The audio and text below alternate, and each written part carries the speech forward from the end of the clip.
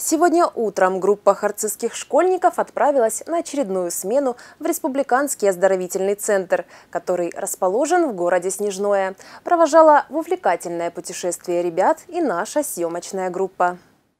Немного сонные, но в предвкушении чего-то нового. С дорожными сумками и хорошим настроением сегодня утром у администрации Харциска группа школьников ожидала маршрутное такси, следующее спецрейсом в Снежное.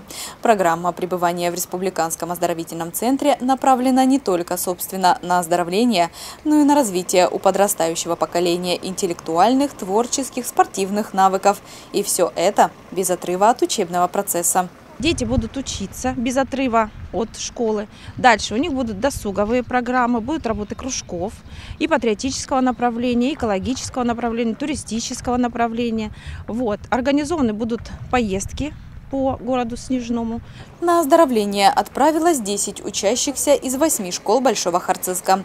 Дети будут отдыхать в центре бесплатно. Путевки оплачены из республиканского бюджета. Дети поедут льготных категорий. Это дети и многодетные, и ЛРП, и дети матерей-одиночек. В этом году уже 4 было поездки. В мае тоже ездили в город Снежной, в Снегири у нас было.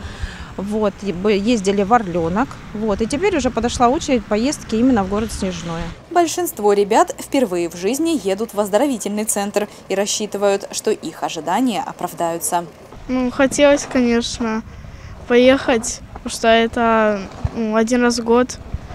Вот. А так скучать буду. В первый раз ездим, но у нас э, две тети, они тоже ездили, э, им очень понравилось.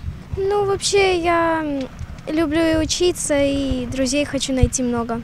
Первый раз ожидаю, конечно, много чего. Ну, конечно, хотелось найти новых друзей.